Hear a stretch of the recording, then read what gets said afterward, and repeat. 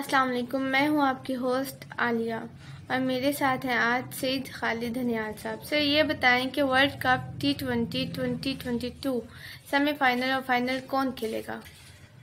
जी, ज़बरदस्त सवाल है। पाकिस्तान और इंडिया एक ग्रुप में से आए हैं सेमीफाइनल के लिए और दूसरे ग्रुप में से न्यूजीलैंड और इंग्लैंड सेमीफाइनल के लिए आए हैं। अब पाकिस्तान और न्यूजीलैंड के दरमियान जो है एक सेमीफाइनल खेला जाएगा और दूसरा सेमीफाइनल जो है इंडिया और इंग्लैंड के दरमियान खेला जाएगा। अब यहाँ पर बड़ा इंटरेस्टिंग पॉइंट भी आगे आएँगे और पहला ये बताता चलूँ कि 9 नवंबर को दिन एक बजे जो सेमीफाइनल खेला जाएगा पाकिस्तान और न्यूजीलैंड के दरमियान। फ़र्ज़ करें इस दिन कोई बारिश हो जाती है या मौसम खराब हो जाता है तो यही मैच आगे 11 नवंबर को चला जाएगा, दिन एक बजे। इसी तरह दूसरे ग्रुप में से इंडिया और इंग्लैंड के दरमियान दूसरा सेमीफाइनल खेला जाएगा दस नवंबर को। अगर इस दिन बारिश हो जाती है तो ये मैच भी आगे 11 नवंबर को चला जाएगा, दिन एक बजे। अब ये दोनों में से जो भी जीतेगा, वो फाइनल मैच खेलेंगे, वो दो दो टीमें खेलेंगी। अच्छा बहुत ज़बरदस्त। सर, ये बताएँ कि ओपनिंग के बारे में बताएँ, पाकिस्तान की टीम कैसे खेलेगी? अच्छा ये बड़ा एक ज़बरदस्त सवाल है कि पाकिस्तान की जो, अगर जो सिचुएशन जा रही है कि बाबर आज़म और रिजवान अगर ओपनिंग करेंगे तो ये मेरा ख्याल है कि सेमीफाइनल के लिए सूट नहीं करेगी। इस सिचुएशन में जो कि ये जो बड़ा बड़ा मैच होने जा रहा है पाकिस्तान और न्यूजीलैंड के दरमियान, बाबर आज़म को तीसरे नंबर पर खेलना होगा। और हारिस को पहले लाना पड़ेगा। क्योंकि पाकिस्तान जब भी पावर प्ले अच्छा खेलता है तो उस वक्त वो पाकिस्तान मैच जीतता है, क्योंकि उसमें अच्छा स्कोर करता है।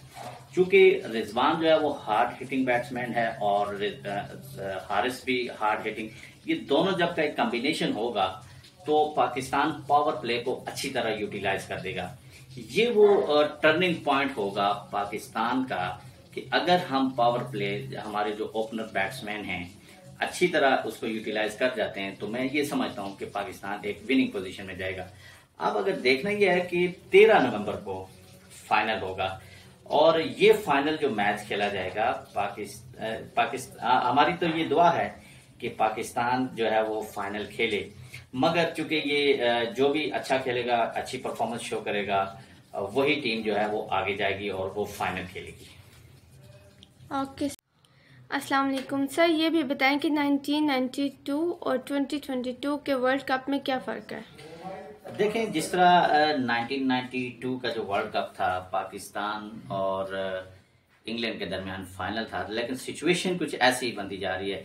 जैसे वहाँ पर पाकिस्तान सेमीफाइनल और फाइनल में पहुँचा तो शुरू के जो मैचेस के अंदर पाकिस्तान की जो परफॉर्मेंस थी, वो कोई इतनी कोई सेटिस्फैक्ट्री नहीं थी। सेम ऐसे ही जिस तरह 2022 के जो ये T twenty man world cup के दौरान हुई है। जिस तरह शुरू के कुछ मैचेस में तो यही कहा जा रहा था कि पाकिस्तान मैच से या इस वर्ल्ड कप से बाहर जाएगा। लेकिन दो मैचेस हारने के बाद जैसे ही यू टर्न लिया सिचुएशन ने तो पता चला कि ये फलां टीम जीते तो पाकिस्तान आगे आ गई। फलां टीम ने फलां टीम को अगर हराया तो पाकिस्तान आगे की।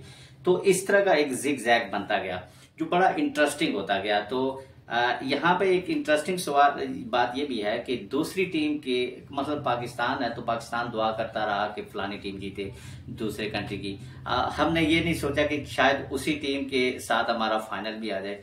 लेकिन ऐसे सिचुएशन बनी कि हम दूसरी टीम जीतती रही और हारती रही और पाकिस्तान आगे आता रहा। और बानवे के वर्ल्ड कप में भी सिचुएशन कुछ ऐसी ही बनी थी। तो तकरीबन सेम सिचुएशन बन रही थी। ठीक है सर आप ये बताएँ कि अगर पाकिस्तान का फाइनल इंडिया से आ जाता है तो फिर आप क्या कहेंगे इस बारे में? ये एक बड़ी ज़बरदस्त हम तो ये पूरे पाकिस्तान की कौम और इंडिया की जो कौम है और बल्कि पूरी दुनिया में मुसलमान और इंडिया के लोग जो हैं, वो इस चीज़ का इंतज़ार कर रहे हैं। पाकिस्तान का टाकरा आ जाए, इंडिया के साथ, और इतना ज़बरदस्त किस्म का टाकरा होगा कि पूरी दुनिया जो देखेगी। तो अगर ये टाकरा आ जाए तो मैं समझता हूँ कि इंडिया के ऊपर ज़्यादा प्रेशर होगा।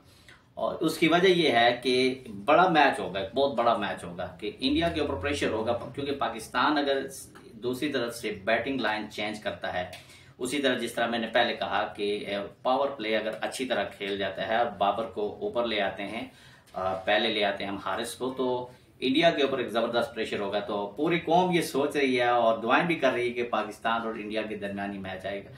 लेकिन हालात अगर बानवे के वर्ल्ड कप वाले हुए तो पाकिस्तान और इंग्लैंड के दरमियान ही मैच होगा।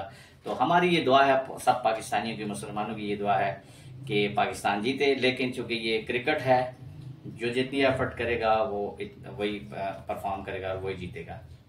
ठीक है sir thank you so much